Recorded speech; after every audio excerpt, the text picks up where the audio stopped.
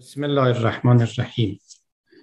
ولا حول ولا قوة الا بالله العلی العظیم. خداوند رو سپاس می‌گذاریم و درود به یکایک عزیزان مستمعان حاضران و قائبان میفرستیم و برای همگان آرزوی حسن توفیق و حسن خاتمت داریم. امروز قرار است که دنباله بحث وجد و سماع غزالی. رحمت الله علیه رو بگیریم و بقیت کلام رو شرح کنیم. اما من به سببی از این کار منصرف شدم و عطف انان کردم به بحث دیگری که مناسبت تام با اوضاع و احوال تاریخی دارد و آن عبارت است از بحث درباره شخصیت شخیص پیامبر اسلام. چند روز پیش در 27 رجب بود که سالگرد بعثت مبارک پیامبر بود و من مجال و فرصت نیافتم که در این زمینه سخنی به اشباع بگویم. البته ذکری کردیم درودی به روح اون بزرگوار فرستادیم و تأییدات روحانی و برکات ربانی از روح اون عظیم دریافت داشتیم و درخواست کردیم. اما چنان که باید کلام رو به قایت نبردیم.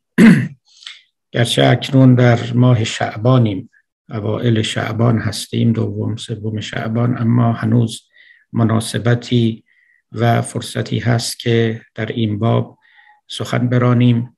و پاره ای از دیون خود رو به اون رسول گرامی ادا کنیم. و همین سبب این نوبت بحث سماع رو در میپیچم و به بحث از بعثت رسول الله صلوات الله علیه می‌پردازم. بحث من بیشتر درون دینی و البته تا حدی فلسفی است و امیدوارم که مستمعان را خوش آید و نافع افتد. باری اختلاف کردند مورخان و محدثان شیعی و سنی در روز بعثت پیامبر در نزد اهل سنت این بعثت در رمضان واقع شد به دلیل اینکه قرآن در رمضان واقع شده است نازل شده است و تصریح کلام الهی است که شهر رمضان الذي انزل فیه القرآن. ولی در میان محدثان شیعه قول دیگری است. از نظر بنده هیچ اهمیتی ندارد اینکه در چه روزی و در چه ساعتی این حادثه مبارک رخ داده است. مهم این است که رخ داده است و ما روزی رو به یادگار اون روز عظیم بزرگ میداریم مبارک میشماریم درود به روح او میفرستیم تحت نام او و لواء او گرد می آییم و سخن می گوییم و خاطرات خود و آموخته های خود رو تازه می کنیم افزونتر می کنیم و می کوشیم که روحن و ولایتا به اون بزرگوار نزدیکتر شویم. اکنون هم چنین است. خواه در رجب افتاده باشد. این بعثت خواه در شعبان یا رمضان اهمیت چندانی ندارد. خب رو کنیم به قرآن کریم و ببینیم که در این باب برای ما چه می‌گوید. البته سخن از پیامبر و رفتار و گفتار او در قرآن کم نیست و بلکه به نظر این حقیر فقیر تمام این کتاب کلام محمد است. گرچه چون محمد پر از خدا بود لذا کلام خدا هم هست. با همه این احوال پاره ای از پاره های قرآن یعنی آیه های قرآن اختصاصا در باب این رسالت و این بعثت سخن گفته است و خوب است که اونها رو بکاویم و ببینیم که از درون آنها چه مزامینی رو می توانیم استخراج کنیم. دو جا در قرآن یکی در سوره آل امران آیه 163 و دیگری در سوره جمعه آیه دوم. اشارت سریح و مستقیم رفته است به رسالت رسول و بعثت ایشان. در سوره آل امران که یک سوره مدنی است خداوند در اونجا میفرماید که هو الذی بعث فی الامیین رسولا. ببخشید اون در سوره جمعه است. در سوره در آل امران هست که لقد من الله علی المؤمنین اذ بعث فیهم رسولا من انفسهم یتلو علیهم آیاته و یزکیهم و یعلمهم الکتاب و الحکمه و این کانو من قبل لفی زلال مبین. بسیار نزدیک به این آیه آیه است که در سوره جمعه می‌خوانیم که هو الذی بعث فی الامیین رسولا منهم یتلو علیهم آیاته و یزکیهم و یعلمهم الکتاب و الحکمه و این کانو من قبل لفی زلال مبین و آخرین منهم لما یلحقوا بهم والله عزیز حکیم ذلك فضل الله یؤتیه من یشاء. والله ذو الفضل العظیم. هر آیه اشاره دارد به اینکه خداوند رسولی را از میان مردم برانگیخته است تا آیات خدا را بر مردم تلاوت کند و به مردم رو تزکیه کند و به آنها کتاب و حکمت بیاموزد. مردمی که قبل از نزول و قبل از آمدن این رسول در گمراهی آشکاری بودند. تفاوت های بین این دو آیه هست که به آنها اشاره می کنم اما مهمترین بحثی رو که در باب این آیات و این بعثت خواهیم کرد حول مفهوم بعثت است و تلاوت آیات است و تزکیه و تعلیم کتاب و حکمت. که ببینیم اینها چه بوده است که ارکان رسالت رسول گرامی اسلام رو تشکیل می‌داده و مأموریت اصلی او این اجرای این امور بوده است. تفاوتی که بین این دو آیه است این است که در آیه سوره آل امران می‌گوید که لقد من الله علی المؤمنین خداوند بر مؤمنین منت نهاد. منت نهادن یعنی ذکر نعمت کردن از فرط اهمیتی که یک نعمت دارد. ما امروز البته کلمه منت نهادن رو در زبان پارسی گاهی به معنای منفی به کار می‌بریم. بگوییم منت به سر من نگذار. یعنی اگر کاری خدمتی برای من کردی به روی من نیار. برای من نگو. مرا کوچک نکن. مرا وامدار خود مکن. اما منت نهادن وقتی که خداوند این واژه رو به کار می‌برد قصد تخفیف مردمان نیست بلکه قصد بیان عظمت نعمتی است که به اونها عطا کرده است. لقد من الله علی المؤمنین. این نعمت بزرگی بود که خداوند به مؤمنان عطا کرد و عرضه داشت. که از میان آنها رسولی را برانگیخت. از بعث من انفسهم رسولا رسولا من انفسهم یتلو علیهم آیاتهی که آیات خدا رو بر آنها بخواند و یزکیهم آنها رو تسکیه کند و رشد بدهد و یعلمهم الکتاب و الحکمه و این کانو من قبل لفی زلال مبین. اینهایی که قبلا در زلال مبین بودند. آیه سوره جمعه می‌گوید که هو الذی بعث فی الامیین رسولا اینجا سخن از مؤمنین نیست سخن از امیین است. خداوند آن کسی است. خدا بود که از میان امیین رسولی را برانگیخت و دوباره همون کلمات تکرار می شود رسولی را برانگیخت تا چه کند؟ تا یتلو علیهم آیاتهی و یزکیهم و یعلمهم الکتاب و الحکمه. پس اونجا می گفت خداوند بر مؤمنان منت نهاد که رسولی رو در میان آنها برانگیخت. اینجا می‌گوید که خدا بود که از میان امیین رسولی رو انتخاب کرد و برانگیخت و به مرتبه و مسند رسالت نشاند. البته این آیات دنباله داره که در سوره آل عمران نیست و او اینکه این رسول که از میان امیین برخواست فقط برای آنها نبود و آخرین منهم لما یلحقوا بهم کسان دیگری که هنوز نیامده اند. یعنی تداوم این رسالت رو هم در اونجا گوش زد می کند و در آیه بعدی هم می‌گوید ذالک فضل الله. این فضل الهی است. فضل یعنی فزونی. یعنی چیزی که به قومی داده شده به کسی داده شده و دیگران ندارند. فضل الهی است و الله ذو الفضل العظیم. خداوند صاحب فضل عظیم است. در موارد دیگری هم باز در قرآن داریم که یختص به رحمته من یشا هر کس را که خداوند بخواهد مخصوص به رحمت خود می کند یعنی پاره از رحمت ها و نعمت ها هست که به قومی داده می شود به کسانی داده می شود و از کسان دیگری دریغ داشته می شود یا دست کم اونها از اون نعمت به مصالحی محروم می مانند خب اینها دو تا آیه که در مورد رسالت پیامبر علیه السلام گفته شده است. من توضیح کوتاهی کوچکی بدهم در باب اینکه چرا اونجا مؤمنین گفته شده است و اینجا امیین. در باب امیین سخن بسیار رفته است. مفسران و محدثان ما عموما امی رو به معنای بی سواد معنا کردند. و خود پیامبر رو هم که قرآن امی خوانده است گفتن یعنی پیامبر یعنی کسی که درس نخوانده بود تحصیل نکرده بود خواندن و نوشتن نمی‌دانست.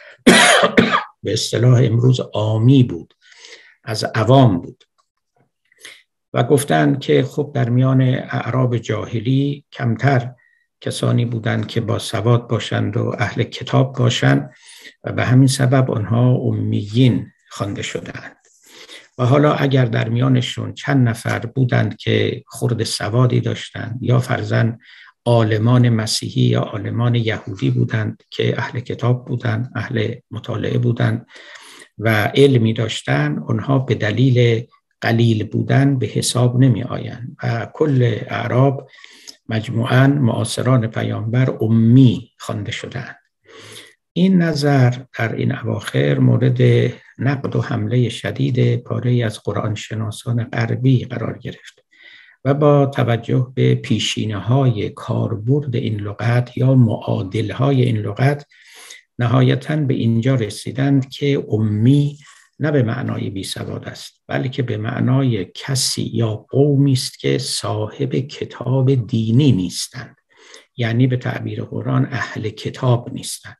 اتفاقا در پاره ای از روایاتی که خود محدثان مسلمان نقل کردن این معنا تأیید می شود گرچه که مورد قبول قرار نگرفته بوده است و امروز شاید رفته رفته طرفداران پیدا کند در کتاب های تفسیری ما نوشتن که یهودیان در زمان پیامبر به عرب می‌گفتن امی شما هستید که کتاب دینی ندارید سکریپچر ندارید مصحف ندارید ما امی نیستیم.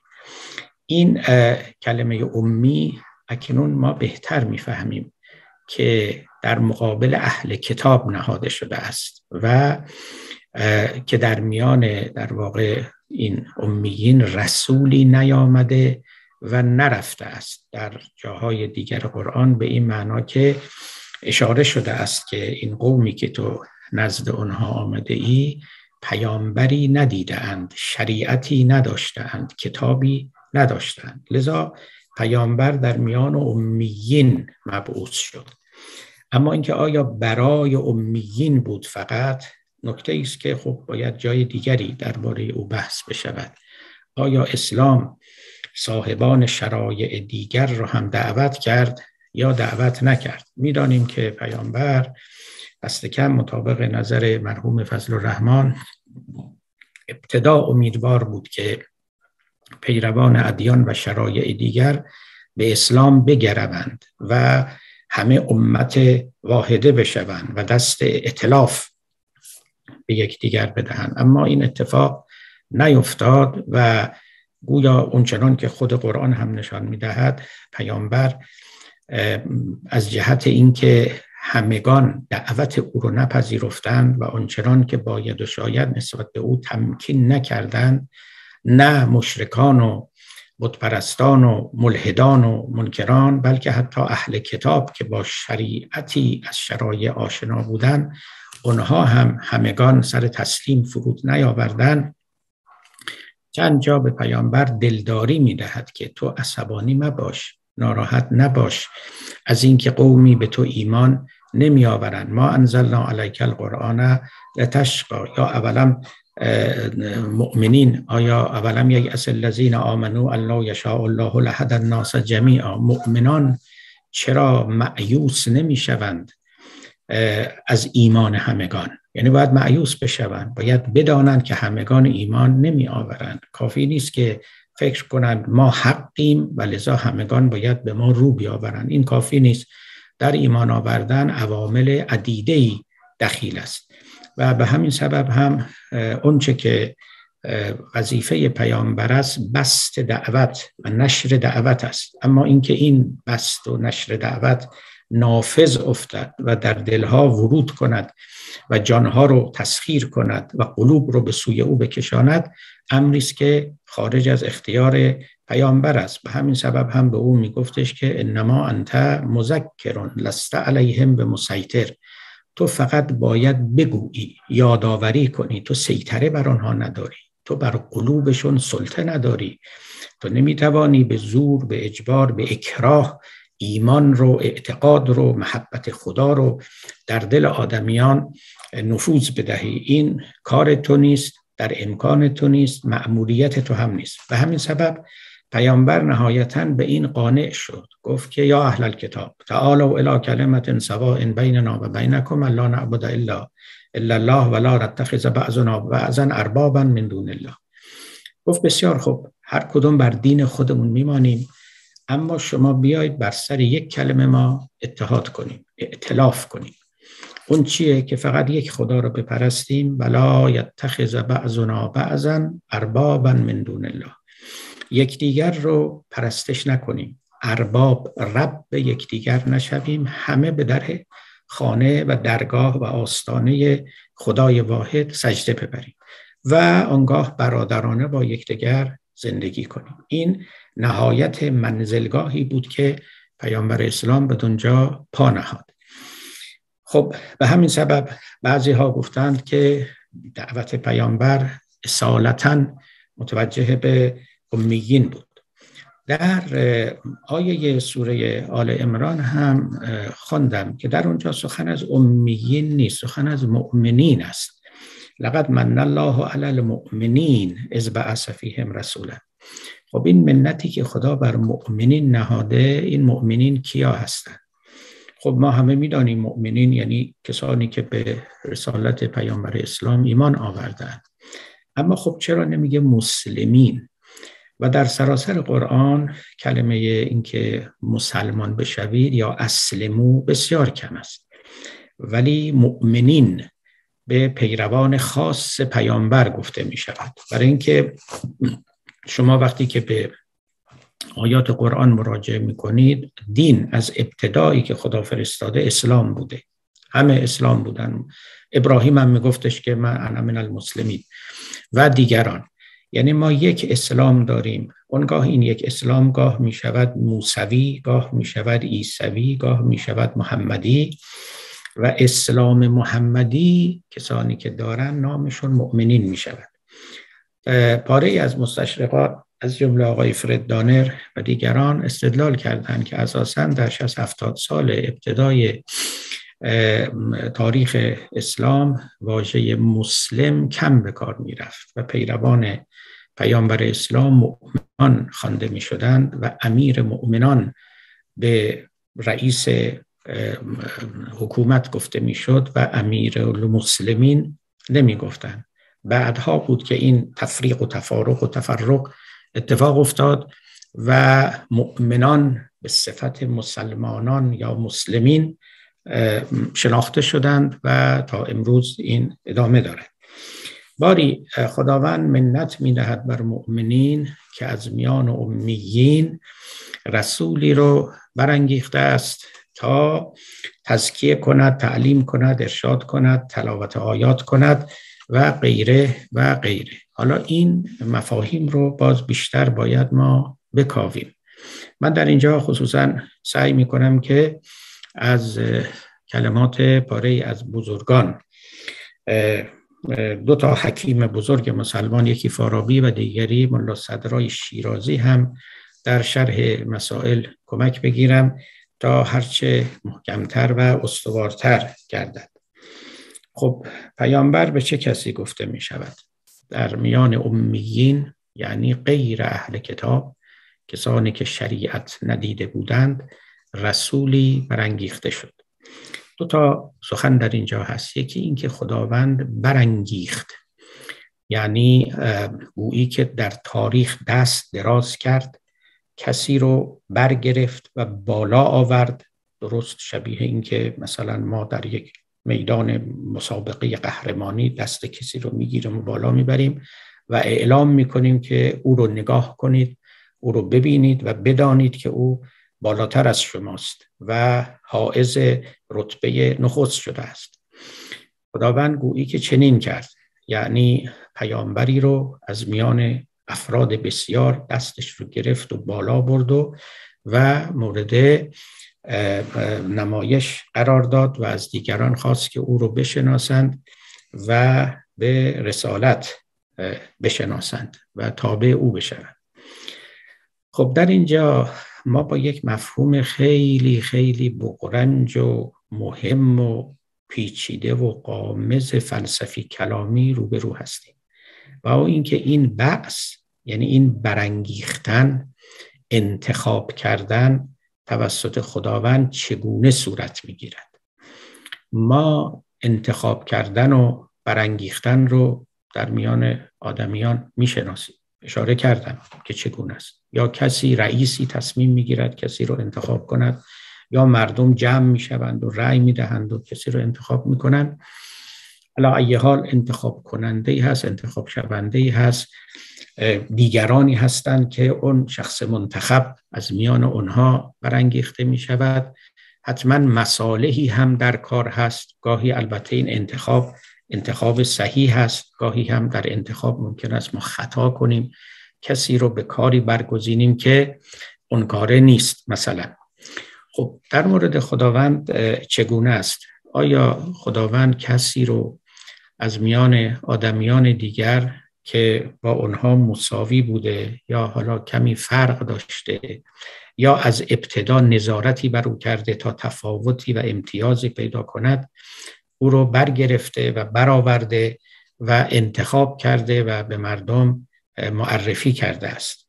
آیا این چنین است؟ و نه فقط این فعل بعث کردن و برانگیختن بلکه هر کار دیگری که خدا در تاریخ می‌کنه. خب این یک کار بزرگ تاریخی بود. یعنی کسی رو برانگیخت که تاریخ رو عوض کرد تمدن ساخت و طرح خیلی عظیمی در مسیر بشریت درف کرد. اما کارهای بسیار دیگری هم خداوند می کند که ما اونها رو هم به او نسبت می دهیم آیا این کارها مستقیما صورت می‌گیره؟ یعنی واقعا بدون علل و اسباب طبیعی ناگهان خداوند اراده می کند که یک کسی رو انتخاب بکنه. ما در قرآن نمونه های این رو بسیار داریم که مثلا فرض کنید که به فلان پیامبر ما صنعت زره بافی رو یاد دادیم مثلا به داوود. ما سلیمان رو بر تخت نشاندیم و به او نیروهای عظیم دادیم و جن و انس رو تابع و مطیع او کردیم. ما پیامبر رو در فلان جنگ پیروز گردانیدیم. از این قبیل که ما کم نداریم که همه جا شما دست خداوند رو در کار و در عمل می‌بینید. ما اینا رو چگونه باید تفسیر بکنیم؟ باید بگوییم که یک اتفاق استثنایی خارج از نظام علت و معلولی طبیعی رخ داده و موجودی از طریق یک عوامل ناشناختهی ناگهان برکشیده شده و در جای خاصی نشسته است یا نه نوع دیگری در این باره باید بیاندیشیم من می‌خوام در اینجا عرض بکنم که نه خداوند دست در تاریخ دراز نمی‌کنه تا مسیر علل تاریخی اجتماعی طبیعی رو عوض بکند یا برهم بزند. یا سلسله علل رو در هم بشکند یا زنجیر علیت رو پاره کند و نیروهایی رو که در عرض نیروهای طبیعت نیستن به میدان بفرستد تا کاری رو صورت بدهد. هر جا که ما سخن از این داریم که خدا فلان کار رو کرد در واقع معناش این است که سیر حوادث چنان بود که به اون نقطه انجامید. سیر حوادث. خداوند سیلی رو فرستاد زلزله ای رو فرستاد.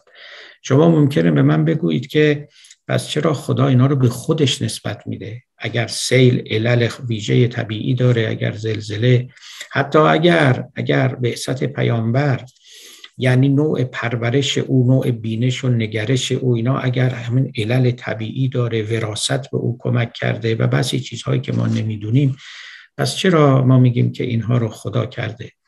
خب این دید توحیدی ماست. سرمه توحید بر چشمان ماست. یعنی بر چشمان پیامبر بود. همه اینها رو از چشم خدا می‌دید. همه اینها رو از چشم خدا می‌دید. حتی معصیت معصیتکاران رو از چشم خدا می‌دید. توجه می‌کنید در قرآن هست که هر کار شما می‌کنید خدا اونجا حاضر است. این هر کار فقط کارهای نیک نیست. هر کاری است که آدمیان می‌کنن. در همه جنگ ها حاضره. در همه صلح ها حاضره. در همه معاصی حاضره. در همه طاعات حاضره. هر کاری که هر کسی می‌کنه و خداوند هیچ جایی رو خالی ننهاده است. هیچ جایی زمانی و مکانی توهی از حضور او نیست و توهی از نفوذ او نیست و توهی از تأثیر اراده او نیست. اما این رو باید به دقت فهمید که یعنی چی. به همین سبب من دیدم که بعضی از مسلمانان مخالفت می کنند با تحلیل تاریخی اجتماعی سیاسی ظهور پیامبر اسلام. میگن اینها رو نگید. معنیش این استش که پس پیامبر الهی نبوده.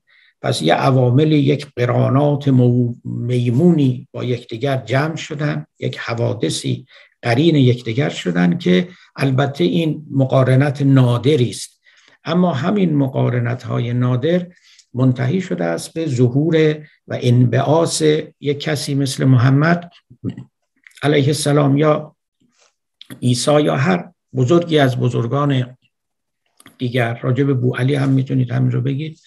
راجع به افلاتون هم راجع به نیوتون هم راجع به صدرالدین شیرازی هم فرق نمی‌کنه. اینا نوادر تاریخ هم. تاریخ که پر از نیوتون ها نیست پر از بو علی ها نیست. یکی نیوتون داریم یک باید. خب ما در مورد اونها همیشه قائلیم. یعنی می‌گوییم که بله گرچه ما نمی‌دانیم که و شاید هم هرگز ندانیم چون حوادث نادرن و چون تکرار نمی‌شوند چنگال علم در پیکر آنها فرو نمی رود استقراء و تجربه مکرر در مورد اونها صورت نمیپذیرد. ما شاید هرگز ندانیم چرا یک نفر ناگهان نیوتون شد ناگهان بو علی سینا شد. ولی حتما قبول می‌کنیم که عواملی بالاخره بوده. حالا این عوامل از اتفاق چنان نیکبختانه در کنار یکدیگر جمع شدن که یک بو علی پدید آمده است. یا یک نیوتون یا یک ابو ریحان بیرونی یا یک ملا صدرای شیرازی یا یک کس اما همین که به پیامبران می‌رسیم. مثل اینکه این نظم رو می‌خوایم به هم بزنیم. من یه وقتی برای شما گفتم یا در نوشته ها آوردم یکی از دوستان ما که جامعه شناس است و خودش برای من می‌گفت می‌گفت در لندن چند سال پیش درباره انقلاب اسلامی ایران سخنرانی می‌کردم و علل اجتماعی سیاسی تاریخی وقوع این انقلاب رو از دیدگاه علم جامعه شناسی بررسی می‌کردم. می‌گفتم فاکتور یک دو سه چهار و همه دست به دست هم دادند و این انقلاب پدید آمد. و وقتی که صحبت من تمام شد و پایین اومدم یه روحانی که در پای سخن من بود آمد و به من گفت آقای دکتر همه مطالبی که شما فرمودید صحیح ولی انقلاب ما الهی یعنی چی؟ یعنی با این علل طبیعی اون رو تحلیل نکنید. یعنی گویی که الهی بودن یه چیزی می افزاید بر حادثه که فراتر از علل طبیعی است. این چنین نیست. یعنی چنین چیزی رو می‌گویند God of Gaps یعنی خدای رخنه ها خدای خلق ها یعنی ما تا اونجایی که علل طبیعی خود رو به ما نشان می‌دهند ما از اونا دم می‌زنیم. اونجایی که نمی‌دونیم چی شده میگیم پس اینجا خدا بوده. خدا رو در خلاها و در تاریکی ها جستجو می‌کنیم. نه باید ما همین رو ادامه بدیم و همه جا رو بتونیم با همین علل طبیعی پوشش بدیم. البته من ورائهم محیط و الله من ورائهم محیط خداوند پشت همه این چیزها ایستاده است. یعنی درست شبیه این که حالا این مثال مثال خوبی نیست شاید یعنی وافی به مقصود نیست ولی بد نیست در نظر داشته باشیم که وقتی که ما کار می‌کنیم هر کاری می‌کنیم چه فکر نیک می‌کنیم چه فکر بد می‌کنیم چه عمل خوب چه عمل بد چه افسرده ایم چه راه میریم چه نشستیم همه این کارا رو به یه منو اکسیژن می‌کنه. یعنی اگر اکسیژنی نبود و هوایی نبود ما هم میافتادیم مرده و هیچ حرکتی هیچ فکری از ما سر نمی‌زد. ما البته هیچ چیزی رو به اکسیژن نسبت نمیدیم ولی می‌دونیم در background اصلا چنین چیزی هست و بدون او هیچ عمل انسانی ممکن و میسر نیست. در عالم خداوند اکسیژن این عالم است حیات این عالم است جان این عالم است روح این عالم است همه چیز رو او می کند اما این مانع نمی شود از اینکه ما علل ثانویه رو نبینیم و اونها رو در مقام تحلیل به دست نگیریم و از اونها استفاده نکنیم. پس ببینید وقتی که میگیم کسی رو خدا برانگیخت در واقع معناش این است که کسی برخواست برخواست برخواستن او رو ما به برانگیختن خدا تعبیر می‌کنیم. یعنی میگیم خدا دست او رو گرفت و بلند کرد. من همیشه گفتم شما وقتی که قرآن رو می‌خونید اون جایی که فعلی رو به خدا نسبت میده اون رو از صورت معلوم به صورت مجهول درارید معلوم این است که بگیم خدا او را برانگیخت. اما صورت مجهولش یا صورت لازم و غیر متعدیش این است که بگیم کسی برخواست این نعمت الهی بود که کسی از میان امیین یعنی غیر اهل کتاب برخواست خب این نکته اول که برخواست پس ما یه برخواستن یه خیزش یک رستاخیز تاریخی داریم که خداوند رو به خودش نسبت می‌دهد که معنای روشنی هم دارد. البته اراده خدا پشت سر همه اینا هست و همونطور که حکیمان به ما گفتن اراده خدا یعنی علم به اصله اراده خداوند یعنی علم او به بهترین اتفاقی که باید بیفتد. بنابراین معنای این که خداوند از میان امیین کسی را برانگیخت. این است که در علم ازلی خدا رفته بود که از میان امیین کسی برخواهد خواست. وقتی که این آیه رو باز می‌کنیم و تشریح می‌کنیم اینجوری می‌شود. در علم ازلی الهی رفته بود که از میان غیر اهل کتاب در صحرای عربستان کسی برخواهد خواست. بسیار خوب. حالا این کسی که برخواهد خواست که نعمت عظیمی شمرده می شود چون خداوند به خاطر او منت می نهد بر مردم این کیست؟ این کسی است که صفت او این است که رسول است.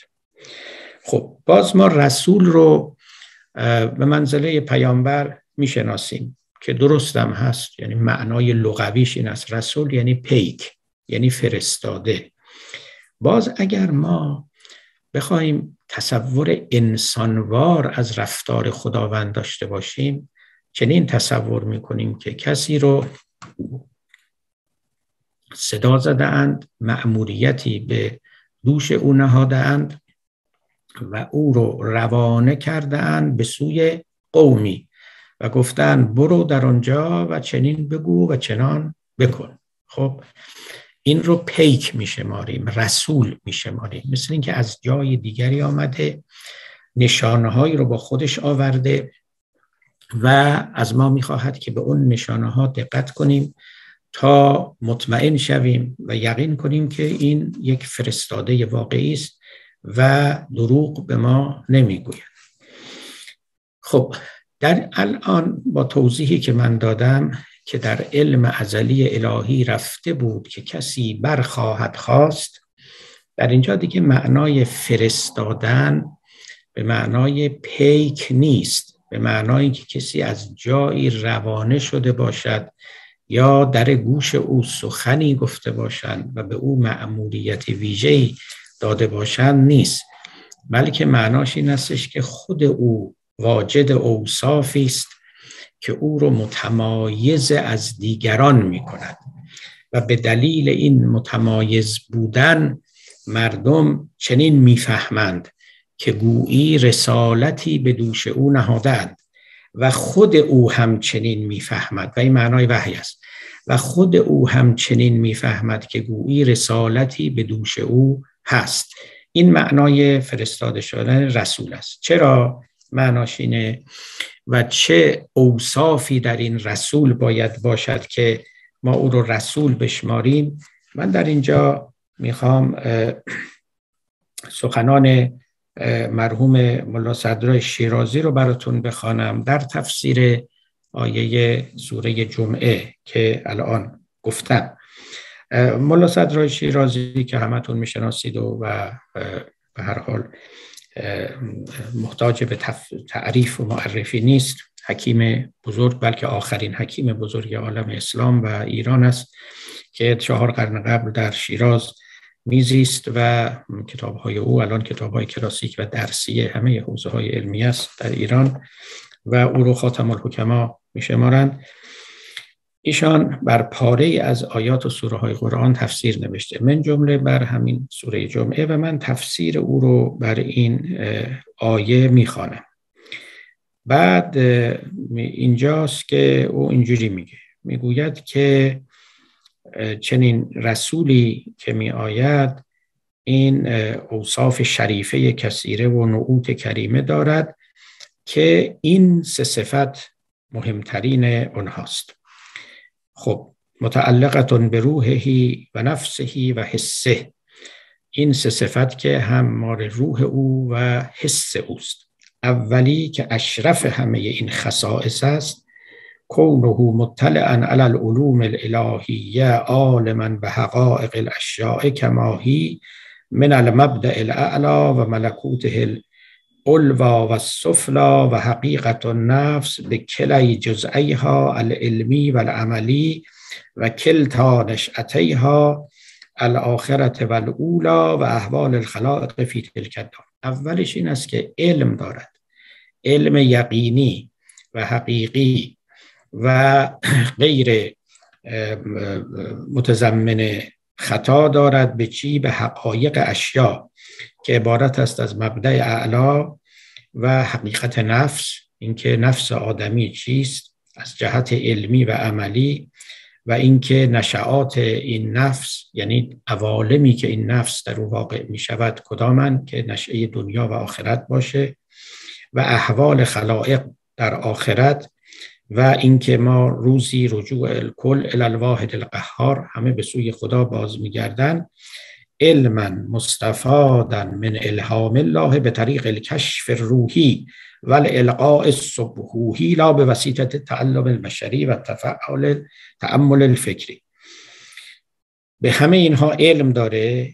این علم از طریق الهام الهی و کشف روحی صورت می‌گیرد نه از طریق تعلیم و تعلم عادی بشری و عرفی. خب این خصلت اول که اشرف خصائل یک پیامبر است. اما خصلت دومش چیه که او رو رسول می‌کنه؟ این است که کونه ذا قوت باطنیت بها تتمثل له الحقائق به کسوت الاشباه المثالیت فی العالم المتوسط بین العالمین. رسول صاحب یک قوه باطنی است. قوه خیال باطنی است که حقایق رو برای او متمثل و مصور می کند حقایق بی صورت رو صورت می بخشد دوباره می‌خونم این این صفت و خصیصه دوم رسولان است. کونه یعنی بودن پیامبر است. زا قوت باطنیه. صاحب بودن پیامبر است. صاحب, صاحب بودن پیامبر است نسبت به یک قوه باطنی که بها به وسیله اون قوه باطنی تتمثل له الحقائق. حقائق متمثل می شوند به کسوت الاشباه مثالیه در جامعه صورتهای مثالی. در عالم متوسط بل تسری قوته الى الحس الظاهر فهی تتشبه له فی هذا العالم فیشاهد الملک الملقی عیانا. بلکه این تمثل میاد و به حواس ظاهری او هم سرایت می‌کنه چنان که با چشم خودش می‌بیند که اون فرشته در مقابل او ممثل شده است. ممثل شده است. و یسمع کلام الله منه شفاهن در عالم خیال می‌بیند که و میشنود کلام اون ملک را. به عبارات عنیقه و الفاظ فسیحه فی قایت الفصاحه و یطلع به تعلیمه و القائه علی المغیبات الجزئیه و یخبر عن الحوادث الماضیه و الاتیه و از این طریق می‌تواند خبر بدهد از حوادث گذشته و حوادث آینده.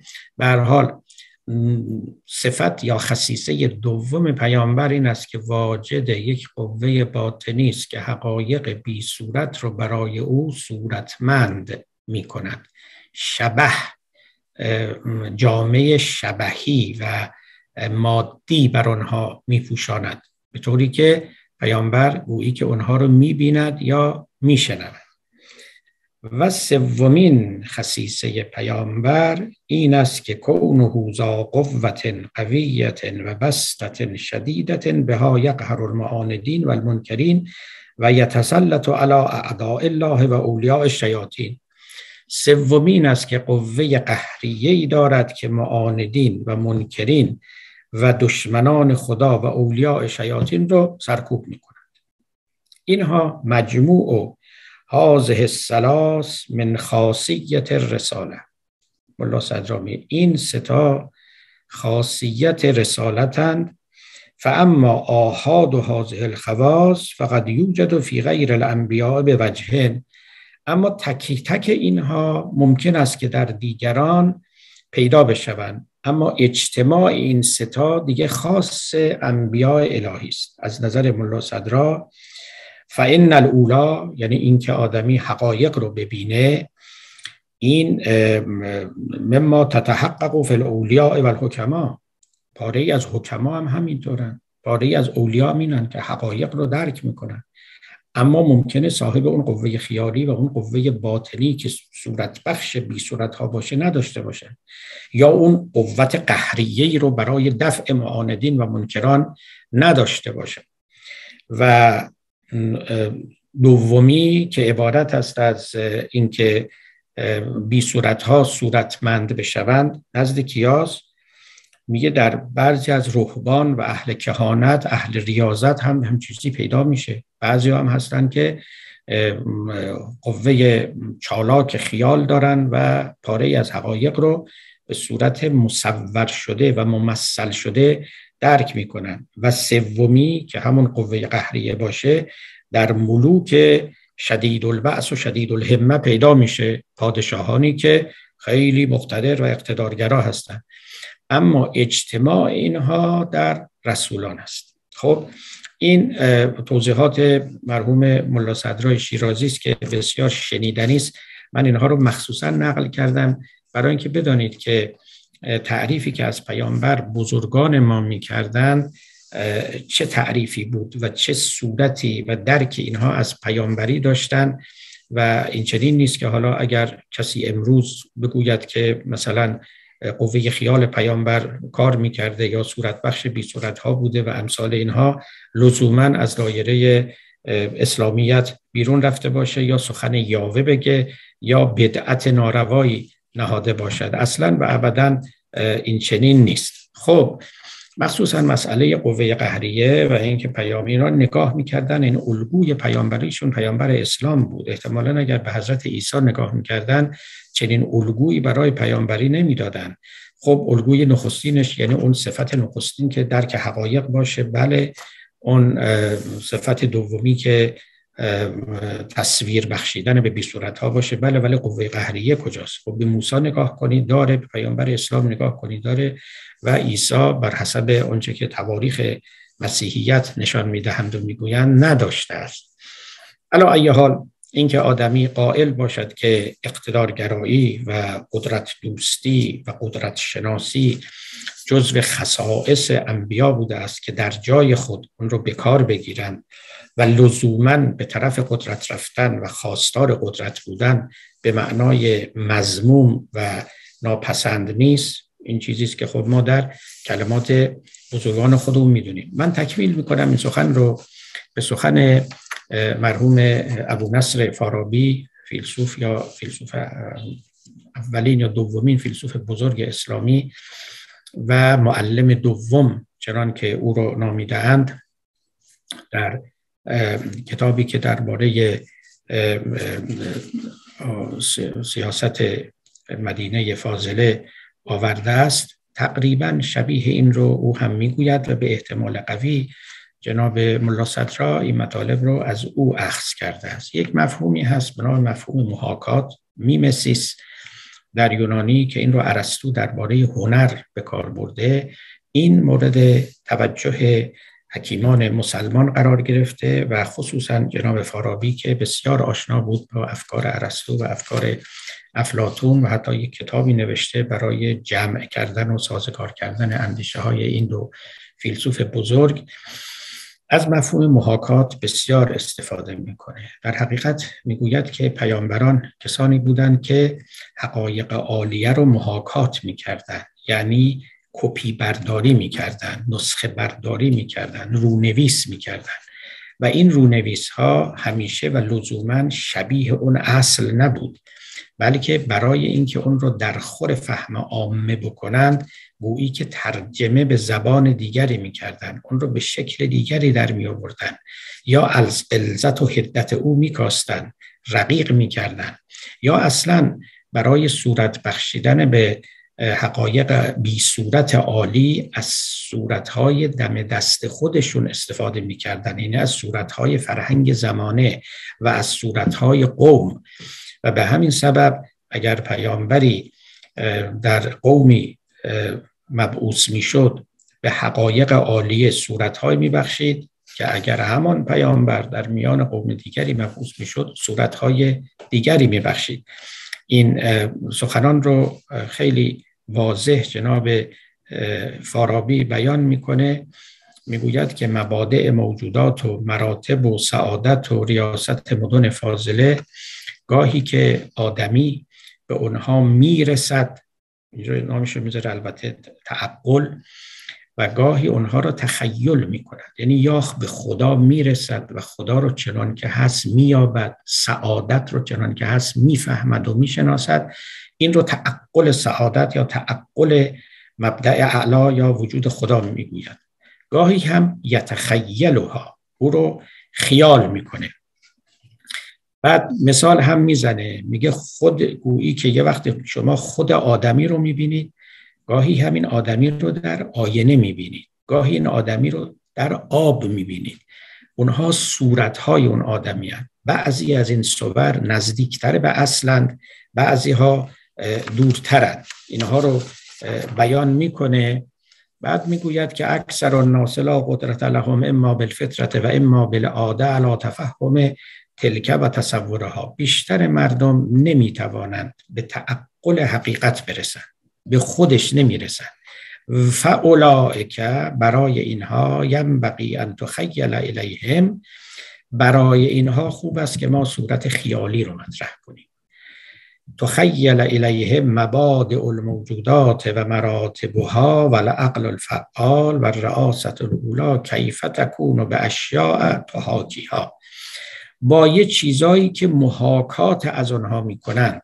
حکایت از آنها می‌کنند و این چیزها متنوعن. یعنی دیگه شما به بی صورتی می‌خواید صورت ببخشید این صورت معین نشده است که کدام است. بستگی دارد که چه ابزاری و چه اشیایی در اختیار شما باشه. می‌گوید که معانی اون حقایق عوض نمیشه ولی ما تو حاکی به ها و اشیاء و کثیره. مختلفه. بعضها اقرب المحاکات و بعضها ابعد. اینها رو می‌گوید و بعد می‌گوید که توحاکی حاضر الاشیاء لکل طائفت و امت بالاشیاء التي هی عرف عندهم یعنی این اشیاء نزد هر امتی با چیزهایی که برای اونها بهتر شناخته شده است حکایت می شود صورت بخشی می شود بگذارید مثال سادهش بزنم. اینجا برای شما نقل کردم که ما در اسلام جهنم داریم آتش سوزان داریم. در زرتشتی جهنم سوزان آتش سوزان نداریم. به جاش چی داریم؟ زمحریز داریم. یعنی یخبندان. جایی که یخ می‌کنه. و اونم عذابه. اون صورتی است که بر عذاب برای اون قوم و توسط پیامبرشان آمده است و این صورتی است که توسط این پیامبر آمده است. هیچ کدوم از این صور جدی نیستن.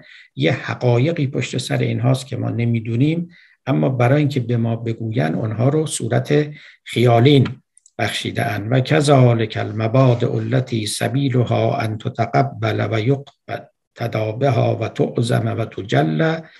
انما یتقبلها اکثر الناس و هی متخیلت عندهم. همه اون حقایق عالیه. مردم نمی‌فهمند و نمیپذیرند مگر اینکه متخیل بشود نزد اونها. دیگه بقیهش رو براتون نمی‌خونم. پس ما در واقع رسول رو هم اینجا از زبان یا به قول فارابی رئیس مدینه فاضله رو از زبان فارابی و ملا صدرا شناختیم که صاحب سه خصیصه یا سه قوه هستند. یکی این که خودشون حقیقت رو می‌گیرن دوم این که خیال چالاک و خلاقی دارن که این حقایق رو که خودشون بی صورت گرفتن صورت مند می‌کنن یعنی صورتگرانن در واقع و این قوه صورتگری اونها رو پیامبر کرده و سوم این که قوه قهریه دارند برای غلبه بر خصم و برای بست دعوت خود. خب این هم پس تا اینجا معنای آیه این شد که نعمت بزرگی است که در علم سابق و ازلی خداوند گذشته است که از میان امیها یعنی اهل غیر اهل کتاب مردی برخواهد خواست که هم تعقل می کند حقایق عالیه رو هم تخیل می کند حقایق عالیه رو هم دست به قوه قهریه و قدرت می‌برد برای بست دعوت و تمکین دیگران. تا از بعث فیهم رسولا من انفسهم. این پیامبر از جنس خود مردم است. یعنی ملک نیست. در جای دیگری هم او رو نپرورده اند مادر ویژه‌ای نداشته پدر ویژه‌ای نداشته مثل همه مردم پدری مادری محیطی زمانه‌ای فرهنگی خاکی کشوری تقضیه‌ای و آموزش و پرورشی اگه فعل مثل بوده و چنین و چنان همین بوده. همه مثل دیگران بوده. در میان دیگران هم برخواسته و نشست و برخواست کرده. هیچ تفاوتی در او نمی‌دیدن تا اینکه خورده خورده استعدادات او به کمال رسیده و قوه گیرنده او عمل کرده و اون کشف بزرگ روحی برای او حاصل شده و چنان از اون لبریز شده که اون رو با دیگران در میان نهاده در این حال صوفی هم نبوده. یعنی از قدرت فرار نمی کرده گوشگیر هم نبوده مایل به بست دعوت خود بوده. مایل بوده که دیگران در مقابل او تمکین کنند در مقابل مخالفان هم ساکت و آرام نمی نشسته. و اگر می‌خواستند که اخلالی در کار او پدید بیاورند با قوت و قدرت با اونها برخورد می‌کرده. و از جنس خود مردم بوده است. خب حالا می‌رسیم به کارهایی که این پیامبر باید انجام بده. یکی یتلو علیهم آیاتهی دوم یزکیهم. و سوم یعلمهم الکتاب و الحکمه.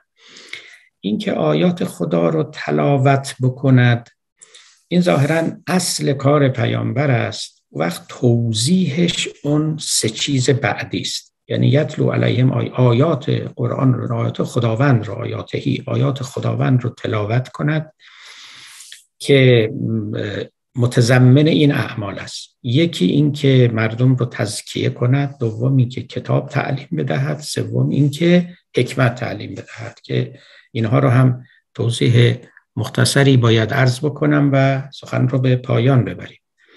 ملاحظه کنید اولا تزکیه. خب معنای نسبتا روشنی داره. زکات به معنای نمو است. نمو رشد. پیامبر تزکیه می کند یعنی قرار است که در زل شریعت او و آین او مردم رشد کنند. رشد کنند.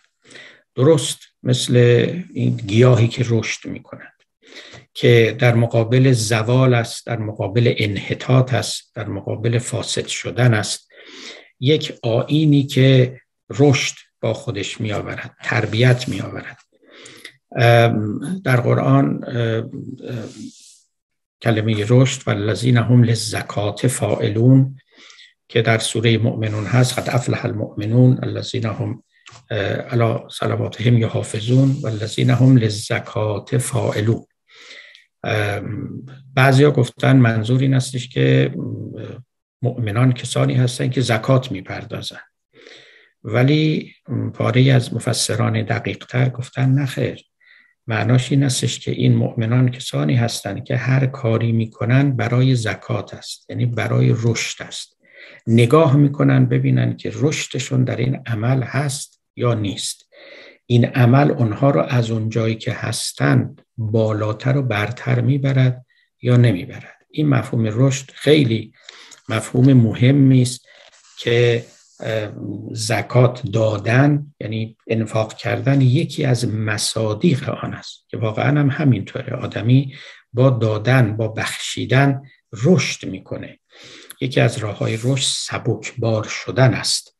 برای اینکه آدم سنگین بار نمی‌تونه بدود نمی‌تواند ارتفاع بگیره بپرد. همینطوری در جا می‌زنه و روی زمین میماند. در انجیل هست عیسی علیه السلام خطاب می‌کرد به مردم می‌گفت به نزد من بیایید ای گران باران تا سبک بار شوید. خیلی سخن بلند و مهمی است به نزد من آیده گران باران تا سبک بار شوید. این همون مفهوم رشد است.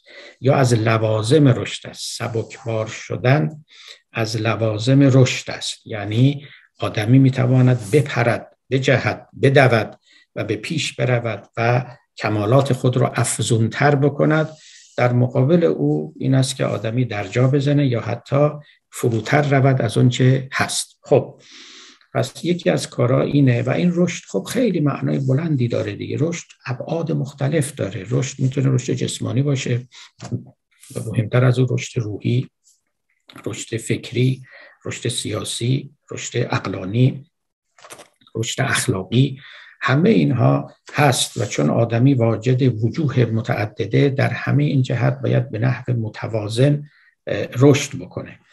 و خب ما معمولا این توازن در رشد رو توجه نداریم. باری.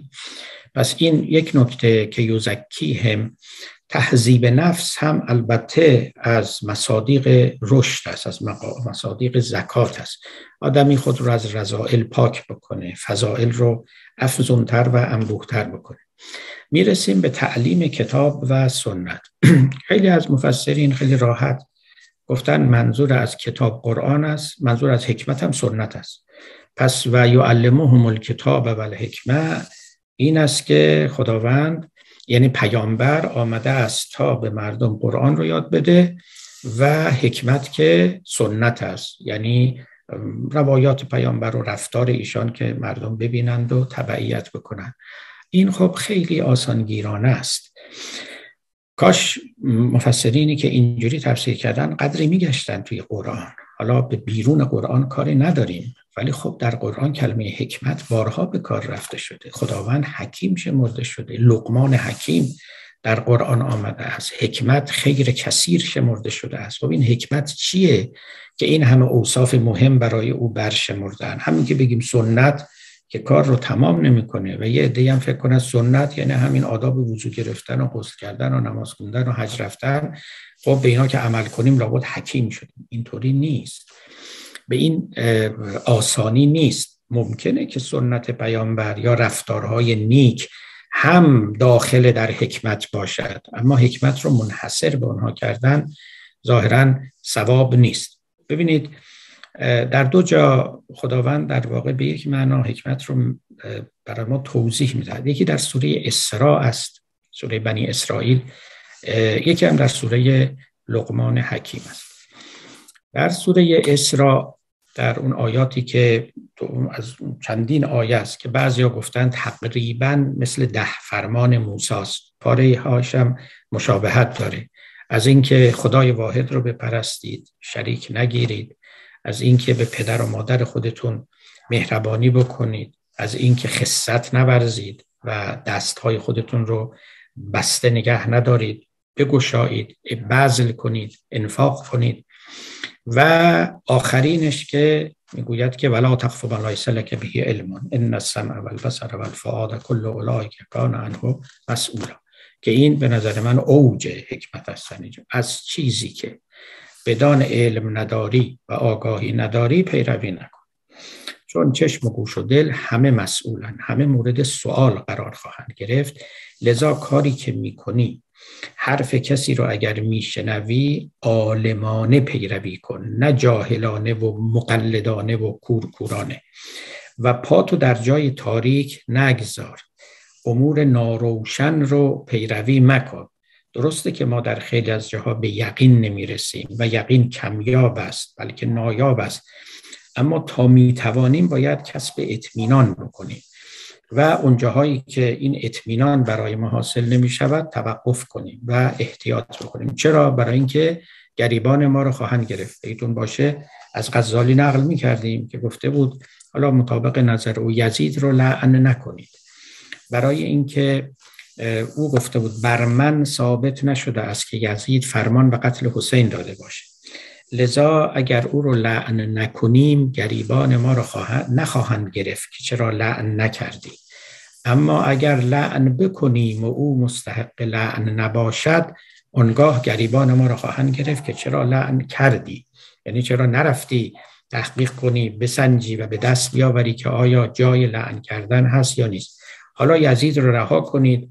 خیلی کسان هستند که ما ممکنه درباره اونها داوری های زود هنگام و شتاب زده بکنیم خب داوری نکنید. اگر نکردید کسی گریبان شما رو نخواهد گرفت. لا تقف ما لیس لک بهی علم. چیزی رو که از دو علم نداری پیروی نکن. پا در آن راه نگذار. داوری مکن. چون ان السمع والبصر والفؤاد کل اولئک کان مسئول. خب این اینها رو در قرآن وقتی که برمیشماره آخرش میگه ذالکم ما اوها ربک الیک من الحکمه اینها پاره از حکمت است که خداوند به تو وحی کرده. شبیه همینها در سوره لقمان است. اونجا که باز لقمان یک دست دستورات عملی می‌دهد. باز اینکه به پدر و مادر مهربانی بکنید لا تشرک بالله عمل خودت رو ملاحظه کن که حتی اگر یه خردلی یک ذره کوچکی عملی کرده باشی اون رو خواهند آورد تو رو محاسبه و معاخذه خواهند کرد. همین همین توصیه ها و نصیحت هاست به اصطلاح امروز. ما اگر اینا رو همه رو کنار هم بگذاریم حکمت در قرآن قاعدتا به حکمت عملی اطلاق می شود یعنی اونچه که فیلسوفان یونان گفتند و بعدها فیلسوفان مسلمان هم به طبع اونها آوردند حکمت به دو دسته تقسیم می شود حکمت نظری و حکمت عملی. حکمت عملی در نزد یونانیان قدیم یکی سیاست بود یکی اخلاق فردی بود و یکی هم عبارت بود از اقتصاد به اصطلاح یعنی علم معیشت.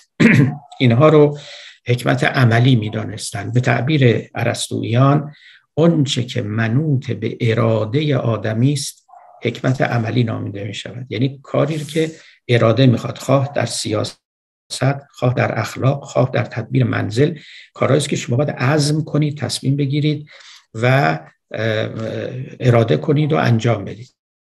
اما اونچه که به اراده من و شما بستگی ندارد شناخت اونها حکمت نظری محسوب می شود قوانین طبیعت به اصطلاح امروز علوم دقیقه ساینس.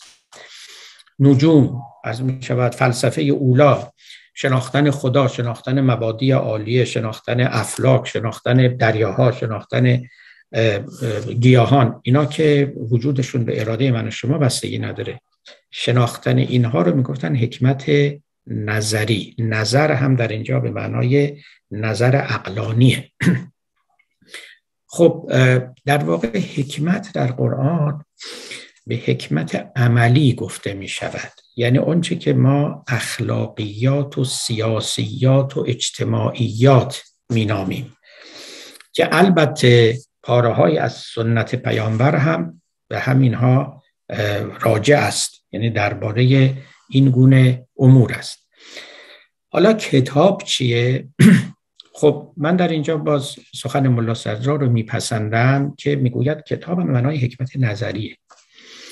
کتاب نه به معنای قرآنه. کتاب به معنای حکمت نظری است. یادتون باشه که این کار همه انبیا بوده که کتاب و حکمت رو یاد مردم بدن نه فقط پیامبر اسلام. لذا کتاب رو قرآن دانستن خارج از دایره تحقیق است. حالا بیایم مسئله رو قدر روشنتر کنیم و دامن سخن رو هم در پیچیم برای اینکه من این حکمت رو از زبان قرآن بهتر معنا بکنم به آیه از سوره حدید شما رو ارجاع میدم. آیه بسیار مهم سوره حدید که سوره حدید نام خودش رو هم از همون آیه گرفته است که واژه حدید در اون به کار رفته. لقد ارسلنا رسولنا بالبینات و انزلنا معهم الكتاب والمیزان لیقوم الناس بالقسط و انزلنا الحدید فیه بأس شدید و منافع للناس الى آخر. ما رسولان خود رو همه رسولان خود رو با بینات فرستادیم و دو چیز رو با اونها همراه کردیم. دو چیز یکی کتاب و دیگری میزان. و انزلنا معهم الکتاب و المیزان. چرا کتاب و میزان یا خود میزان برای چه بود؟ برای اینکه مردم قیام به قسط بکنند. قسط یعنی چی؟ یعنی عدالت. احتمالا با کلمه جاست هم هم ریشه باشه. مطمئن نیستم. ولی از ریشه قسطاس است. و قسطاس که کلمه است. در اصل یونانی معنای ترازوست حالا ببینید در واقع به جای کتاب و حکمت کتاب و میزان آورده است. کتاب و ترازو. یعنی در واقع بهترین نماد حکمت ترازوست. این نکته بسیار جالبی است. در قرآن کلمه ترازو بارها به کار رفته. چه در مورد شعون دنیوی و چه در مورد امور اخروی. و نزع الموازین القسط. روز قیامت ما ترازوهای عادلانه برپا خواهیم کرد. در این دنیا وای گفتن خیلی کم به کار رفته در قرآن ولی یک جا وای بر کم فروشان و ویل للمطففین کسانی که هم میفروشند. یعنی در ترازو به عدالت رفتار نمی‌کنن در مورد بسیاری از پیامبران بنی اسرائیل که می آمدن گفته می‌شد که اینها جزو تعالیمشون به مردم بوده که و زنو بالقسطاس المستقیم ترازوی درست رو به کار ببرید. ترازو نماد عدالت است. و اصلا به نظر من مفهوم یعنی عدالت بست معنای ترازوست عدالت توضیحی حالا جای بحثش اینجا نیست. چون این مفاهیم انتظایی از امور عینی حسی ابجکتیو خارجی گرفته شدهاند. این چنین نیست که اول مفهوم کلی انتظایی ساخته شده باشه بعد تطبیق بر مصادیق بشه نه اول مصادیق بودن از اینها و مفاهیم انتظایی ساخته شده یعنی انتظاع شده تجرید شده برگرفته شده و بعد بست و تعمیم داده شده است. ترازو که بهترین نماد عدالت است. و در سخنان مولا علی هم هست که اجعل نفسک که میزانن بینک و بین الناس خودت ترازوی خودت باش و مردم رو با او بسنج. یعنی همون جمله‌ای که در انجیل هست چیزی که به خود نمیپسندی بر دیگران روا مدار. برای خودت اگه کم نمی‌کشی برای دیگران هم کم نکش. کم فروشی نکن. الی آخر.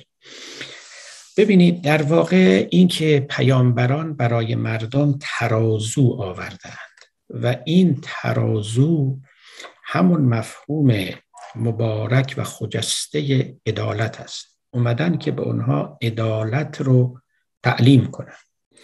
این در حکمت عملی است.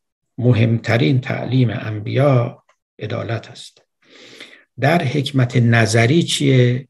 ان عبدالله و بود تاغوت در سوره نحل است.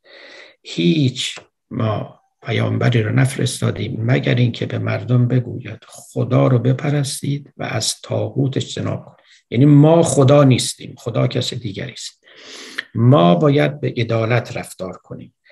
این اعتدال و عدالت هم در عالم نفس فردی است و هم در عالم اجتماع است. و این چنین است که رسالت انبیا شکل روشن خودش رو پیدا می‌کنه. اما این ترازو چیست؟ خب این ترازو رو معرفی کردن. پاره از آنها رو گفتن برای ما پاره هم به عقل زمانه واگذار شده است. اما اینکه خدای عادل و عالم و خدای حکیم که به معنای عادل است نه به معنای اینکه روش کارهای اخلاقی می کند و خدای حکیم از ما خواسته است که به شرایع عادله عمل کنیم. یعنی اگر چیزی عادلانه بودن خودش رو از دست داد است بودن خودش رو از دست داد دیگه در حکمت داخل نمی شود و جزو تعالیم نبی و رسول محسوب نمی شود از مهمترین دریافت ها و استنباط ها و تعویل است که ما امروز باید حقیقت برسانیم یعنی تحقق ببخشیم و بدانیم که اون مقصد و مقصود چه بوده است.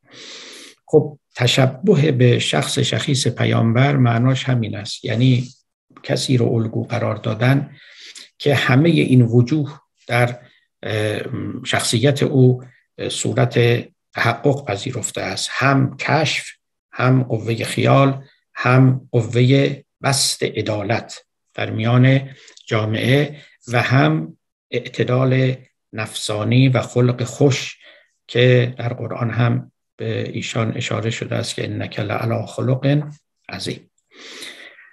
خب ما در مقابل هر نعمتی باید شکر هم به جا بیاوریم.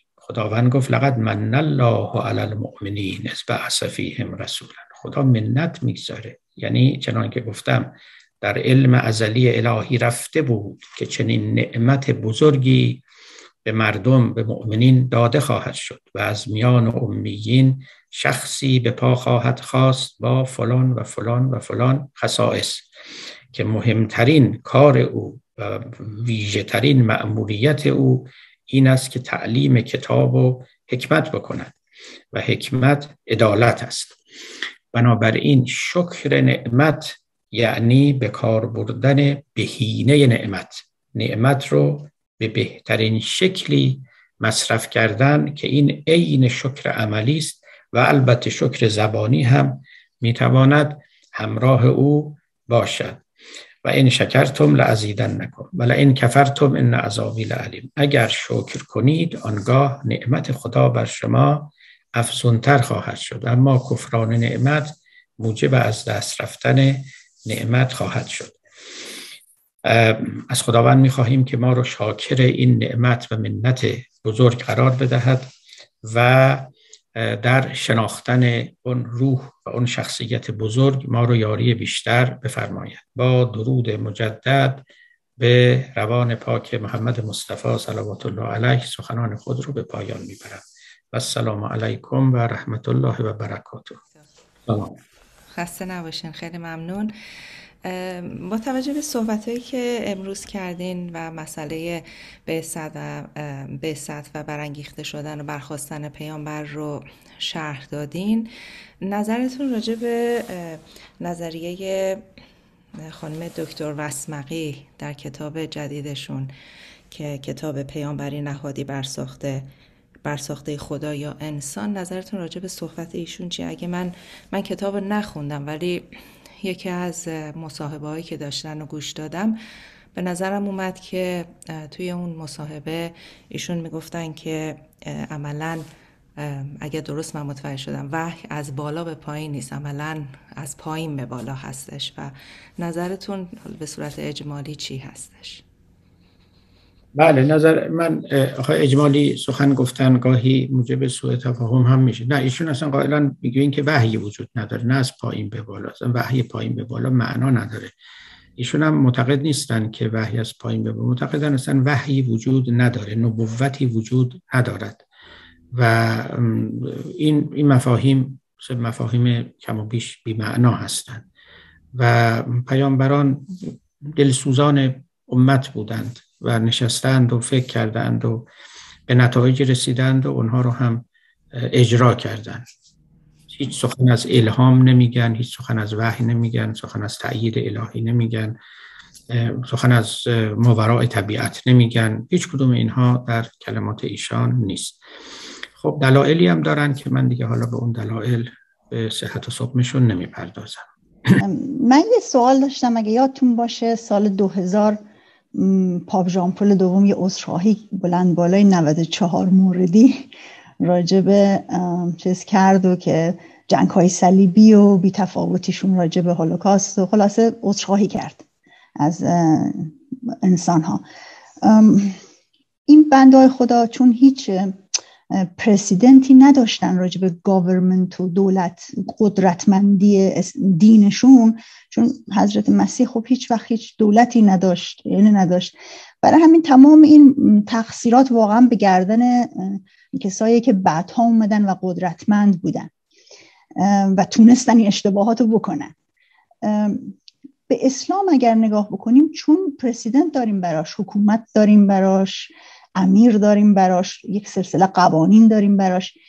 اگر امروز به عنوان حالا برفرض شما مثلا پاپ اسلام باشید و از من از شما سوال بکنم یک لیستی اگر فکر می‌کنید هست که عذرخواهی شما که پاپ اسلام هستید الان از انسانیت بخواید بکنید و این لیست یه حالا 94 تا توش باشه مثلا. از این 94 تا یه تعدادش ممکنه برگرده به اون زمانی که این حکومت تشکیل شده. من اینطوری فکر می‌کنم که این احتمال هست. چرا؟ چون یک الگو داریم حالا از اون از این حکومت کنونی جنابالی که پاپ باشید. سوال من اینه که اگر ریدو دوباره بخوایم از اول بخوایم فرض کنیم زمان برگرده عقب و دوباره اون به ایجاد شه و دوباره پیامبر بیان و دوباره قوانین و حکومت بیاد. آیا لیستی به ذهن شما می‌رسه از چیزهایی که اگر ریدو می‌شد اگر دوباره از اول انجام می‌شد این لیست 94 تایی الان ما یه مقدار تعدادش کمتر می‌شد؟ خب، حالا باید سب کنید من برم بشینم. آقا به چه شما؟ شما پاپ اسلام هستید. حالا این تاجی که به سر ما نهاد ای که به سر ما کردید پاپ اسلام. البته البته دیر بله. از جونتون ولی خب. بله، نه مثلا بسیار عالی است. عرض بزرگتون که ببینید اولا در مسیحیت خب درسته که حضرت عیسی دولتی نداشت ولی همه این کارها رو به نام او می‌کردن دیگه. یعنی معتقد بودن که خواسته اوست و حالا بعدها خب بله کسی پیدا می شود میگه ما اشتباه کردیم. خب این این ماجرا در عالم اسلام هم هست. یعنی حتی از چشم اهل سنت شما نگاه کنید پس از پیامبر هیچ کسی رو معصوم نمی‌دونن. حالا شیعیان دوازده امام رو دارن ولی در اهل سنت نه خلیفه اول ابو بکر نه دوم نه اینا هیچ کدوم معصوم نمی‌دونن. لذا بنابراین کاملا میشه فرض کرد و میشه حتی نشون داد که در کجاها اینا خطا کردن. تازه حالا اینا خلفای راشدینن. یعنی از نظر مقام و منزلت برتر از دیگرانن میافتد بعدها که به دست امویان و به دست عباسیان و دیگران و عثمانیان و هیچ کسی قائل به اسمت یا بی خطا بودن اینها نبوده و نیست و نمی‌تواند باشد.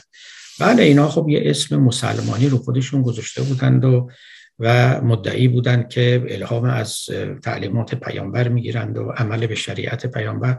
ولی خب اینا که ادعای اونها بود شما نگاه بکنید خب خیلی کارها در تاریخ اسلام شد که خوشتر بود که نمی‌شد. اما ضمنا اجتناب ناپذیرم بود. برای اینکه ببینید بالاخره هر دیانتی که میاد این دیانت رو به مردم می‌دهد دیگه. در خلع که رها نمی‌کنه.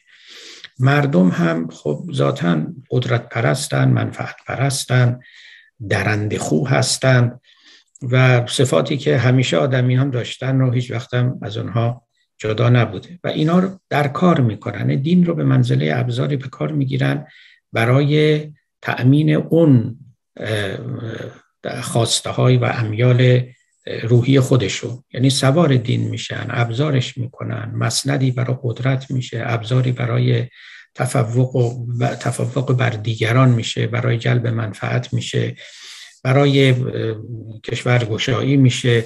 برای جمع ثروت میشه و بسیاری چیزهای دیگه. کما اینکه شده هر چیز دیگری هم باشه همینطور میشه. یعنی این آدمی او رو مورد سوء استفاده قرار میده. ما اون جمله را از امام حسین داریم دیگه که مشهور است که به ایشان که ایشان گفتن که در همون وقایع محرم گفتن که الناس عبید الدنیا و الدین لعق به السنتهم یدورونه ما درت به معایشهم فاذا محسوا بالبلاء قلت دیانون دین مردم بنده دنیا هستند و دین یه چیزی لغلقه زبانشونه. و مادامی که زندگیشون میچرخد اون رو هم می‌گویند و خرج می‌کنند. اما اذا محسو بالبلا قلت دیان وقتی که نوبت امتحان برسد دینداران واقعی بسیار قلیل خواهند بود. این هم نوعی ملامت و مذمت است و هم نوعی توصیف واقعیت است. یعنی در عالم واقع آدمیان دین رو براشون مثل کفش پاشون میشه مثل لباس تنشون میشه مثل خوراکشون میشه. اینجوری با او معامله می‌کنن مثل کالای تجاری میشه. اگر سود داد که داد اگر نه کنارش می‌ذارن یا اگر نشد مسخش می‌کنن مسله می‌کنن تا در خدمت اونها دراد و به اونها سواری بدهد. این ماجرایی است که متاسفانه بر سر ادیان رفته است. گاهی هم از طرف کسانی که مدعی ترینند یعنی معتقدند که بهترین پیروان اون دیانت هستند. شما من این رو نقل کردم. کتاب داستایفسکی همین کتاب برادران کارامازوف. در اونجا شما می‌بینید که می‌گوید که در قرن دهم دوازدهم بود که جناب مسیح ظهور کرد و آمد و در شهر رو رفته رفته مردم او رو شناختند و و مشغول شد که معجزاتی بکنه و بعد گفت من سکند کامینگ هستم رجعت. مگه شما دائما نگفتید که عیسی دوباره برمیگرده؟ من دوباره برگشتم. خب در روز یک رعد و برقی کرد و جماعتی رو چشماشون رو خیره کرد و به خود جلب کرد. شب که در منزلش رفته بود جناب کاردینال و اسقف اعظم شهر تنهایی رفت و در اتاق جناب عیسی دوباره بازگشته رو گشود و رفت و در رو پشت خودش بست و نشست گفتگو کردن. اما این گفتگو کردن با عیسی این نبود که آمدیم که به ما دوباره برکت ببخشید. اومدیم پای شما رو ببوسیم. دست شما نه. التیماتوم داد. گفت شما جناب عیسی کار خودت رو کردی در این دنیا. 20 قرن پیش هر چقدر قرن بود به زبان ساده مغازه رو باز کردی. یه دستگاهی رو درست کردی. دادی دست ما. ما هم خوب ادارش کردیم. تو آمدی می‌خوای دوباره چه کار بکنی؟ اومدی ویران کنی این دستگاه رو به تو اجازه نمیدی و به زبان هم محترمانه و هم تهدیدگرانه این سخنان رو به ایشان گفت و, و بعدم گفتش که تا صبح شما بساتت رو جمع می‌کنی و از اینجا میری. وگرنه من فردا مجبورم که حکم اعدام شما رو صادر بکنم. و اونطوری که داستایفسکی نوشته رفت و در رو نیمه باز گذاشت. یعنی اشاره به این که شما تشریف ببرید. فردا که آمد دید دیگه ایسایی وجود ندارد. ببینید علمای دین یا اونهایی که به نام دین کار کردن واقعا چنانن که بازگشت پیامبر رو بر نمیتابن که شما میگید اگر ریدو کنیم یعنی دوباره پیامبر بیاد نه همینا اولین کسانی هستن که اون پیامبر رو سر می‌برن. میگن مغازه باز کردی دکانی و ما دکاندارش هستیم سکاندارش هستیم. شما به ما سپردی دیگه لازم نیست برگردی. ما می‌دونیم این رو چجوری اداره کنیم. چنان اداره می‌کنیم که موافق تبایع ما و منافع ما باشد. متاسفانه این چنین است. بله. بله آقای جلال سفری با معمول سوالشون رو گذاشتن که من برای شما بخونم آیات شما در جای فرمودید علم و تعقل در قرآن علم تجربی و حکمت یونانی نیستند و برای معنی کردن این کلمات باید ببینیم اعراب به چه چیز علم و تعقل می‌گفتند. و در جایی در تقابل نگاه مولوی و علامه طباطبایی فرمودید مولوی سراسر قرآن را نفی علیت می‌داند و علامه طباطبایی اثبات آن. و شما هر دو رأی را مردود شمردید و گفتید نه این است و نه آن. همانطور که فرمودید تفکیکی بین جسم و روح هم در قرآن وجود نداشته و فرمودید نفس در قرآن خود شخص است. و جمله این گونه تفسیرها را آناکرومیستیک خواندید. اما شما در جلسه امروز کتاب و حکمت را به حکمت نظری و عملی معنا کردید. جسارتا خواستم قدری بیشتر در این باره توضیح دهید. بله ایشون صحیح میفرمایند. ولی من از اون خط هیچ تخطی نکردم و کاملا هم تفتن و وقوف دارم به اینکه کلماتی که در قرآن آمده موافق فلسفه های بعدی نباید معنی کرد. یعنی اصطلاحات رو از اونها نباید وام کرد و تحمیل بر قرآن کرد. اتفاقا من اشاره ای که به سوره اسراء کردم و اشاره که به سوره لغمان کردم و گفتم در اینجاها کلمه حکمت به چه معنا به کار رفته برای همین بود که نخوام به بیرون از قرآن اتکا و استناد بکنم. گفتم در اونجا وقتی که این آیات رو شما می‌بینید همشون از جنس به اصطلاح نورماتیو استیتمنت ها هستن. بکن نکن نیک است بد است.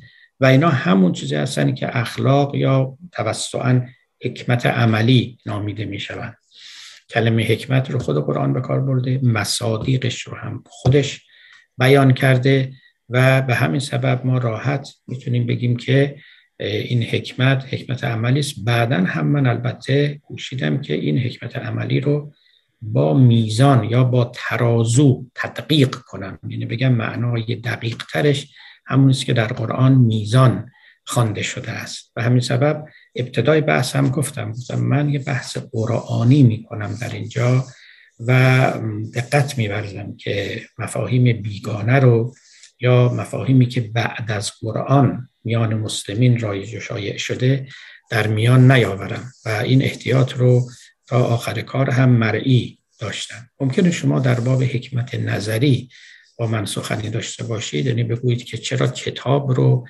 حکمت نظری معنی کردید. بسیار خوب. این لفظ حکمت نظری چندان اهمیتی نداره.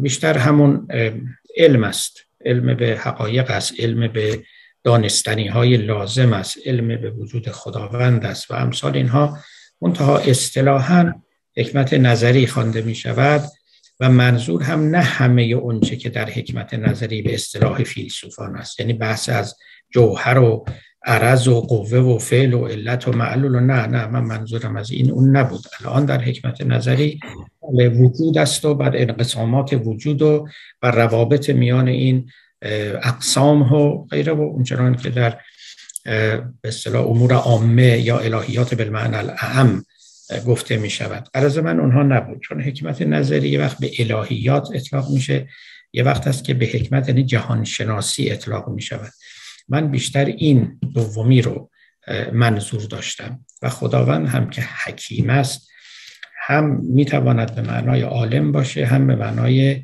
عادل باشه یعنی جامع بین حکمتین نظری و عملی. این سوال نداره ما داریم حسن استفاده می‌کنیم. ببخشید. یک جلسه بود که چند تا نوبل لوریت هم توش نشسته بود و سخنگو داشت راجع به چطور زوال اسلام چطور پیش اومد درخشش اسلام قرن 8 تا 11 رو داشت توضیح می‌داد توی اون جمع. اسم ستاره هایی که به عربی هستن رو روی برد گذاشته بود و که بالاخره این حرفا. بعد گفت تا چی شد؟ تا این آقا اومد. عکسی که زد اون بالا گفت تا غزالی اومد. و غزالی اومد گفت mathematics is work of devil. برای همین همه چیز اونجا استاب شد و اسلام افول کرد از این حرفا. خب من می‌دونم کتاب های زیادی راجع به این قضیه نوشته شده دلایل بسیار زیادی از خودتون خیلی راجع به این مسائل صحبت می‌کنید. خیلی گشتم بعد اتفاقا از آقای از آقام پرسیدم ایشون گفتن که با داداش کوچیکشون میگه احمد غزالی رو میگه حتما. و شما این من نتونستم جا این چی گفته که اینا انقدر براشون به عنوان یک اتفاق بزرگیه که علم در اسلام افول کرد به خاطر اینکه ایشون همچین فتوایی رو دادن یا همچین صحبتی رو کردن. من اینو هیچ جا پیدا نمی کنم حالا گفتم از شما بپرسم شما حتما می‌دونید. والا قصه درازدامنی است شهرتی دارد این سخت در میان مستشرقان که غزالی پدر علم و فلسفه رو در اسلام درآورد و پس از غزالی فلسفه کمر راست نکرد و بلکه اقلانیت در جهان اسلامی فرو مرد و شعلش خاموش شد و انحطاط مسلمین از همونجا آغاز شد. یعنی از غزالی یک قهرمان بلکه ابرقهرمانی ساختند که با کتابهای خودش توانست 900 سال تاریخ اسلام پس از خودش رو تحت شعاع و تحت تاثیر قرار بده و بساط فلسفه و اقلانیت رو در نوردد و مسلمانان رو به زوال و انحطاط بیافکنند این سخنی بود که بعضی ها گفته بودن متاسفانه در عالم اسلام هم بعضی ها پذیرفتن گفتم قصه درازدامنی است. من فقط شما رو ارجاع میدم به یک کتاب اخیری که در این باب منتشر شده به نام پست کلاسیکال فلسفی توسط یک استاد دانشگاه ییل به نام آقای فرانک گریفل که از غذا از دوستان من هم هست. ایشان غزالی شناس درجه اولی است. چند سال پیشم کتاب دیگری در باب غزالی منتشر کرد که اون هم کتاب بدیعی بود. این یکی تاریخ اسلام پس از غزالی رو دنبال می‌کنه و خصوصا از لحاظ رواج اقلانیت یا رکود و زوال اقلانیت و به خوبی و با توضیحات مفصل نشان می‌دهد که اصلا اینطوری نیست. چراغ فلسفه هرگز خاموش نشد.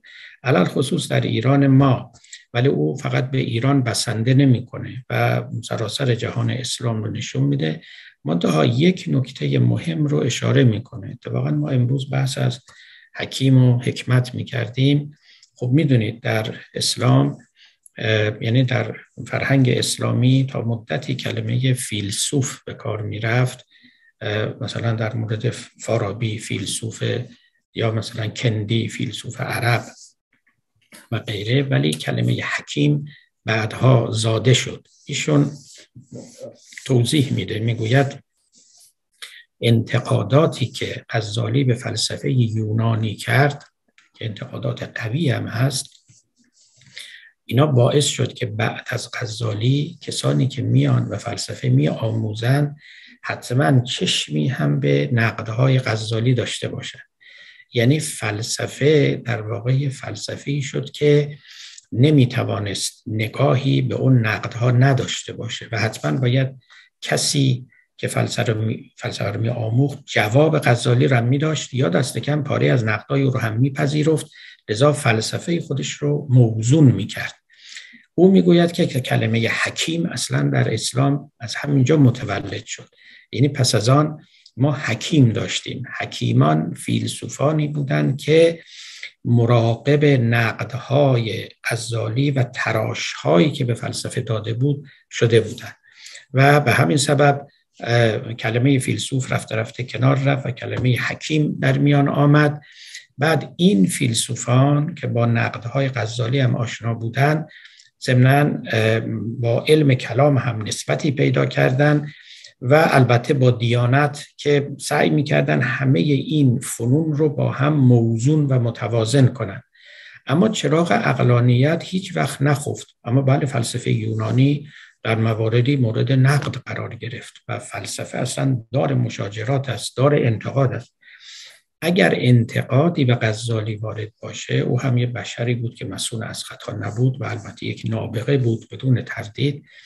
اگر انتقاد به وارد باشه این نیست که فلسفه یونانی یا فلسفه فارابی ابن سینا رو نقد کرده. این که اشکالی نداره. نقدهاش هم بسیار بسیار گزنده است. یعنی خیلی نافذ و مؤثره. خیلی با دقت نظر این کار رو کرده. اگه ایرادی به او وارده این هستش که فلاسفه رو در پاره از موارد تکفیر کرده. یعنی دست نقد از آستین فقاهت بیرون آورده. اینش خیلی بد بود. و حالا تا حدودی هم می‌تونیم بگیم که جرأت داد به بعضی از فقیهان بعدی که این کار رو بکنن. حتی این بلا به سر ملا صدرای بیچاره هم آمد. و مجبور شد که شهر خودش شیراز رو ترک بکنه و مدتها در قوم یا دهی نزدیک قوم به نام کهک زندگی بکنی که از آزار خلقان در امان باشه. اگر به اون نقدی بگیریم خورده بگیریم که می‌گیریم اینه که چرا فقیهانه وارد معرفت فلسفی شده. اما اینکه نقادانه وارد فلسفه بشود اینکه عین فلسفه است. یعنی به قول ارسطو اگر باید فیلسوفی کرد باید فیلسوفی کرد. اگر نباید فیلسوفی کرد باز هم باید فیلسوفی کرد. برای اینکه شما با فلسفه می‌تونید به جنگ فلسفه برید. لذا غزالی فلسفه تازه‌ای پرورد و با این نوپروری توانست که در نسلهای بعدی مؤثر باشه و اگر در فکرش قوتی نبود قطعا این همه تاثیر نمیگذاشت. و چنان که گفتم چراغ فلسفه هرگز خاموش نشد. الا زمان نهازاد توضیحی که این آقای فرانک گریفل در اون کتابش میده برای اینکه چرا در قرن اخیر فلسفه در عالم اسلام تا حدودی ضعیف شده میگه هیچ دلیلی نداشت جز آموزش و پرورش نوین جز این مدرسه هایی که ساختن و با روش های جدید و بعد هم مکاتب غربی رو تدریس کردن و رفته رفته فلسفه اسلامی عقب رفت و تحت شعا قرار گرفت. داوری ایشان این است. اما اینکه غزالی راجع به ریاضیات اون رو گفته باشه اصلا و ابدا چنین چیزی نیست. اتفاقا غزالی گرچه علوم یونانی رو قبول نداشت یا در پاره از موارد قبول یکی منطق و یکی ریاضیات رو قبول داشت. گفت اینا هیچ مشکلی ندارن و با دین هم هیچ مساسی ندارن و هیچ جوری لطمه به دیانت نمی‌زنن. بله بعضی از اندیشه های فلسفی یونانیان رو معتقد بود که ممکن است که خلاف دین باشن. مثلا در باب خداوند چنان سخن می‌گویند که گویی که خدا دست بسته است یا مثلا معاد جسمانی رو نمیپذیرند معتقد بود یا در مورد علم خداوند می‌گفت فیلسوفان مسلمان به طبع یونانیان معتقدند که خداوند علم به جزئیات نداره فقط علم به کلیات داره. اینا رو می‌گفت کفر است. این حرفا علاوه بر اینکه باطل است به لحاظ فلسفی کفر هم هست. یعنی یک مسلمان نمی‌تواند به اینها معتقد باشه. در موارد دیگه نه. اصلا بحث فلسفی می‌کنه. مثلا در باب زمان درگیر میشه با فلاسفه که درک شما از زمان و تعریفتون باطله. از مکان از علیت اینا همش مباحث فلسفی است. اتفاقا اونچه که غزالی در باب علیت در کتاب تهافت فلاسفه خودش داره این تقریبا امروز دیگه جهانگیر شده. یعنی در عالم علم جدید همه علیت ها از همون نوعی که غزالی یعنی به هیچ وجه عقبگرد محسوب نمیشه بلکه به اصطلاح حالا من نمی‌خوام این کلمه می‌کنم مترقی هم محسوب میشه گرچه که این الفاظ الفاظ نابجای است کرد به کار و سخن البته این قصه سر دراز دارد. بله. خدا نگهدار همه کن